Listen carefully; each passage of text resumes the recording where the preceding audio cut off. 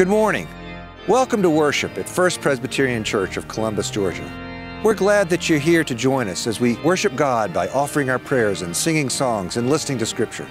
Please come in with us that we may worship God together.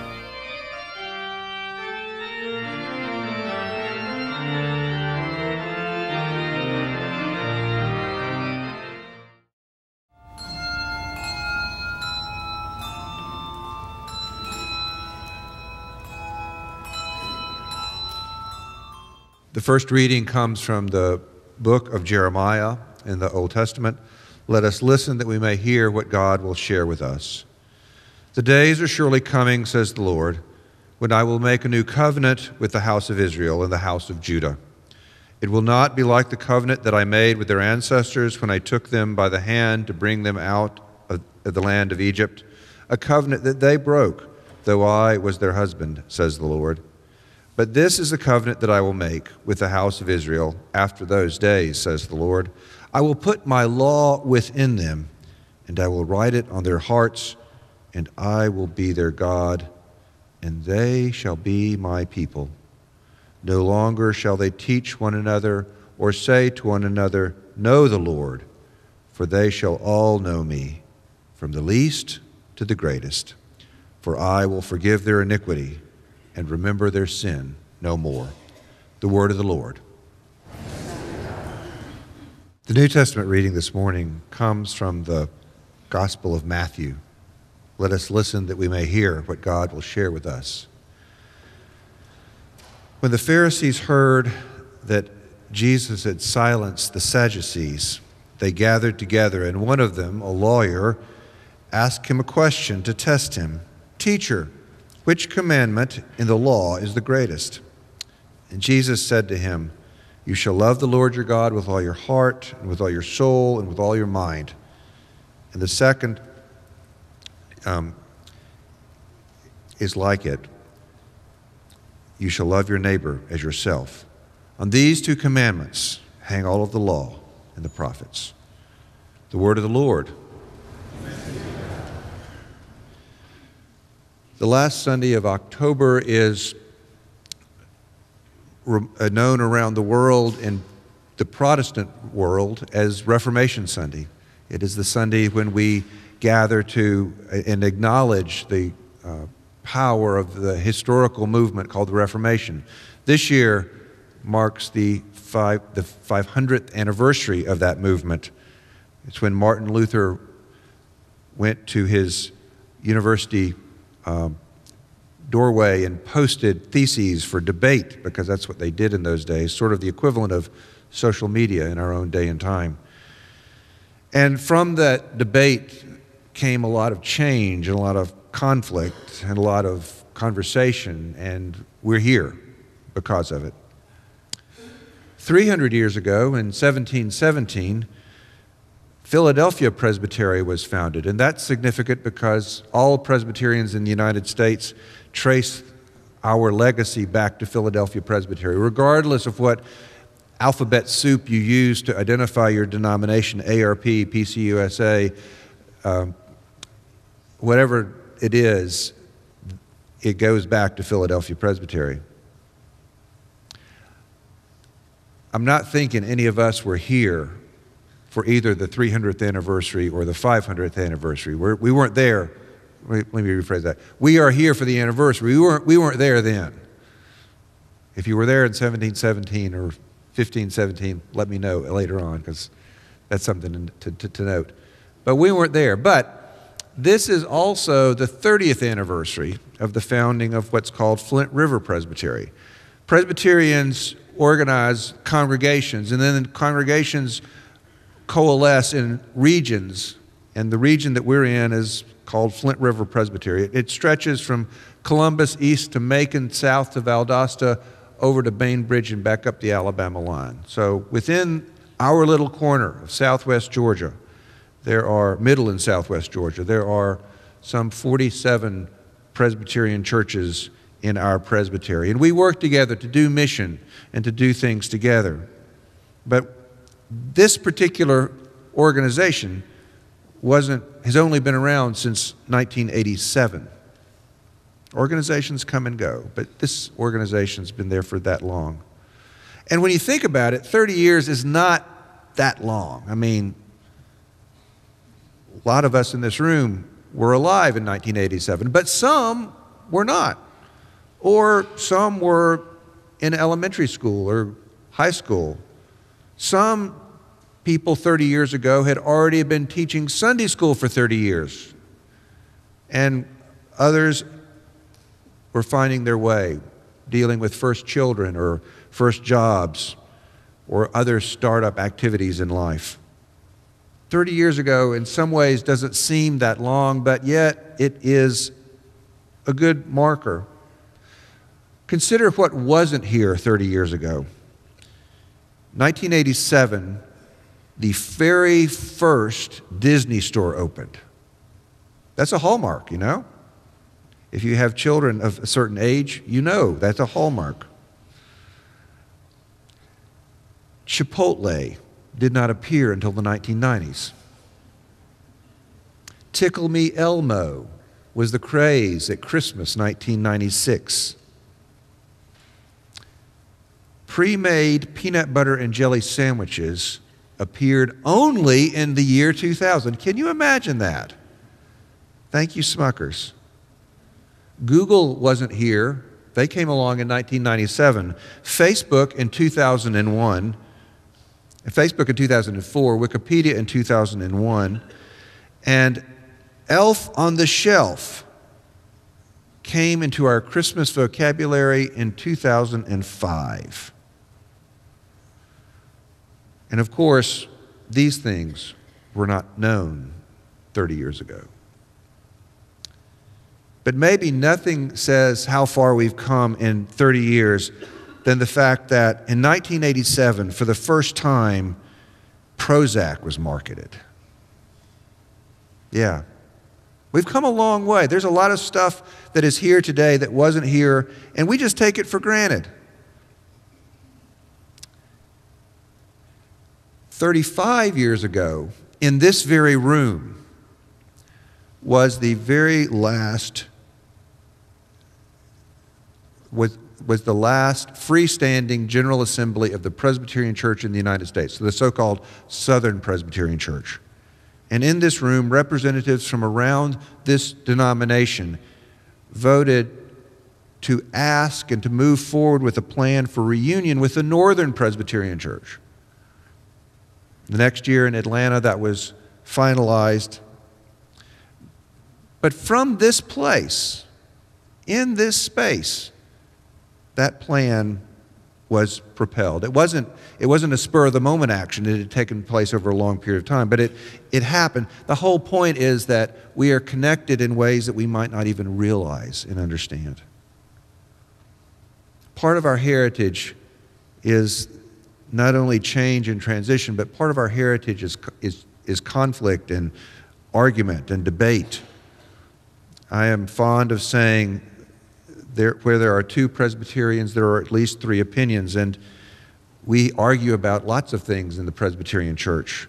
In recent years, the larger, the larger church has debated what are the essential tenets of the Reformed faith. What are the core beliefs of that? And there's been some of that that we have felt close to home.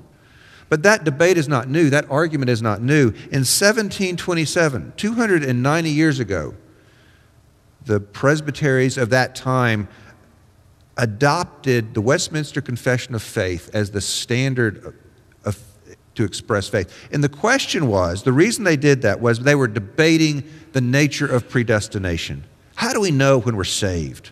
How do we know when we're sanctified? What does that mean to be justified? And the answers that they looked for then were found in the Westminster Confession of Faith, which we still reference and use and but the questions didn't go away simply because answers were given. Questions persisted. In the 18th and 19th century, our nation experienced a couple of great awakenings. Our Presbyterian ancestor, Gilbert Tennent, was a firebrand of a, a preacher, and he argued that there were dangers in an unconverted ministry. He founded a school which became known as the College of New Jersey, which gave birth to the Princeton University, to teach pastors how to serve. But his view was not universally accepted, and in fact, there was a division within churches and within the presbyteries of the time. In the 19th century, there was another division. It was, it was over a couple of different arguments. One was was it appropriate for independent mission societies to work in conjunction with the church for promoting the gospel, or was the work of sharing God's good news solely an ecclesiastical function of the church? Now, that may not sound like a huge issue, but if you think about it, today we take for granted that there's a partnership between church or church, the church, quote unquote, and organizations that promote various means of sharing God's message. We take that for granted. But that was not always what it was, and it caused a split. And it also fell into the other things that were involved in there. There were new measures, such as the revival in mass media, which in that day meant could you put a newspaper ad promoting a revival or should you just trust that the people who needed to show up would show up? That was the debate that was going on. And it split churches and presbyteries and organizations. From early days in our nation's history, long before we had a nation, even when we were colonies, there, was, there were arguments over chattel slavery. Indeed, the use of enslaved labor has been the bedrock, or was the bedrock for a long time for our, our nation and what became our nation. Samuel Davies was a Presbyterian pastor in Virginia in the 1700s, and he, he felt a calling to go and share the gospel with the enslaved communities. And so he went and asked plantation owners, and some let him, others did not. In the 1800s, Charles Stillman in Alabama worked with enslaved peoples and later with new freed peoples to create schools and churches. Both of these men, and many others besides them, and women who worked with them, these folks were doing this from their position of privilege. They were privileged to be able to share this news and they also felt some form of paternalism as they did it. That is not to condemn them, it's just to say that was the place from which they sat. At the same time they were doing this, there were other African Americans leaders in the Presbyterian Church.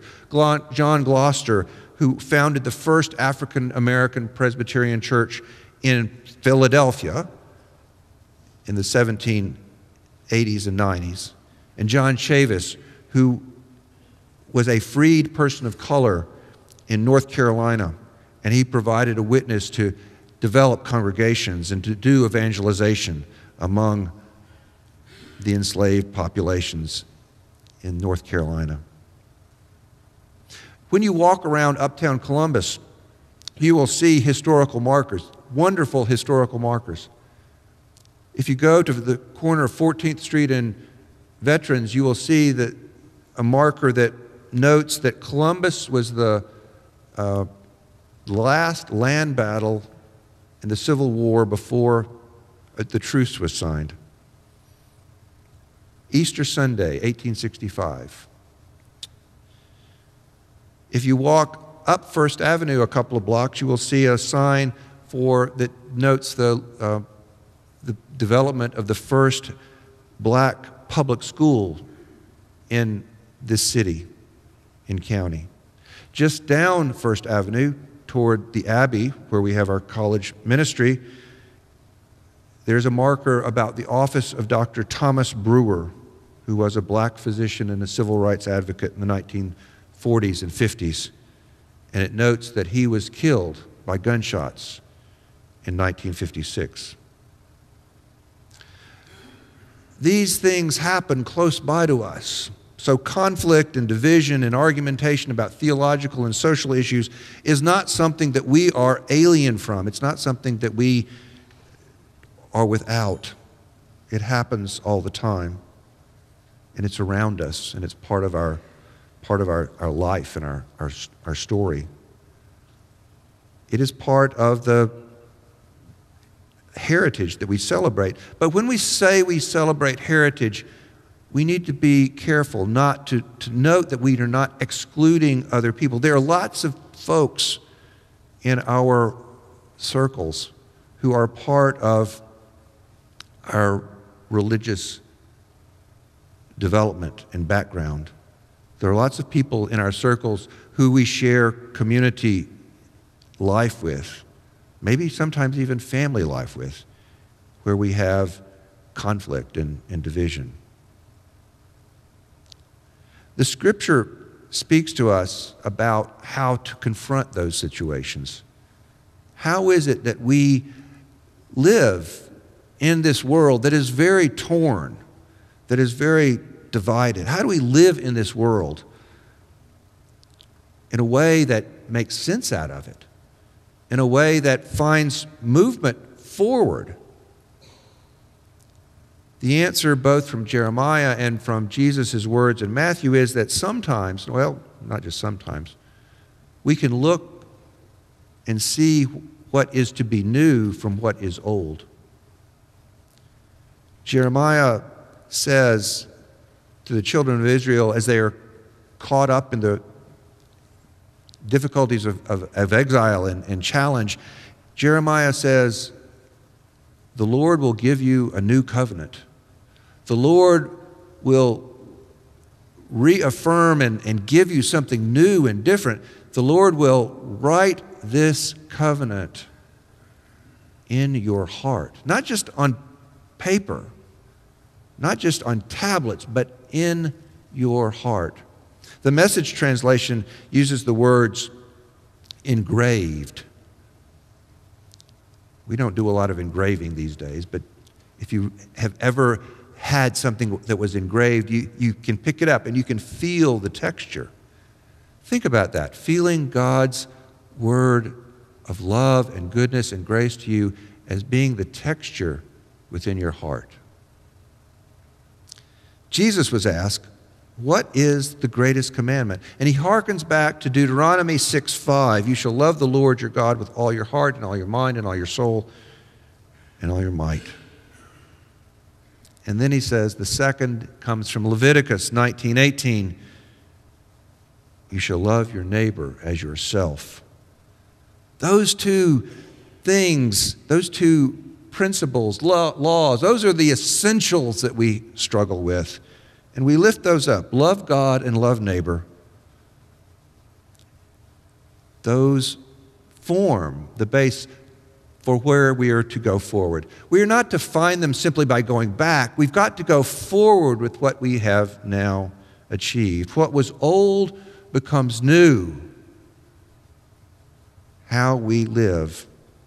We live in a time when there are lots of different challenges to our life. In our faith and in our community and in our nation, there are lots of different challenges that we see and we struggle with to some degree, you, um, you might even want to say that lots of all these issues that, that are out there political, economic, matters of race and class and gender all of those are about power and who has power and how power is used. God's word to us through Jesus is that the power of love is going to be the power that cuts through all those others. The power of love is not simply affection, it is not simply companionship. The power of love is the power of God's presence. It transforms who we are from what we have been to what we can be in the future. As we struggle with any and all challenges that come to us, whether or not we are male or female, black or white, Asian or Hispanic, whether or not we live uh, wherever we live, however we live, all of those things, God's power of love cuts through and transforms and changes us. That was the hope by which the children of Israel lived. That was the way in which Jesus shared to the Pharisees what was possible.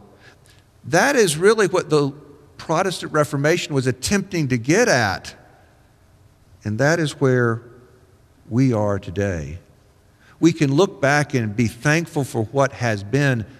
We also must look forward to take that power of love of God and love of neighbor into the future to transform ourselves so that as we live and generations come after us, they will be able to look back on us to see their way forward again as well. What was old does become new. Thanks be to God. Amen. It's been a privilege to join you this day in worship. We're glad that you were here. First Presbyterian Church seeks to serve and minister in the name of Jesus Christ. May the Lord bless you and keep you. May the Lord be kind and gracious to you. May the Lord look upon you with favor. Go in peace as you love and serve God.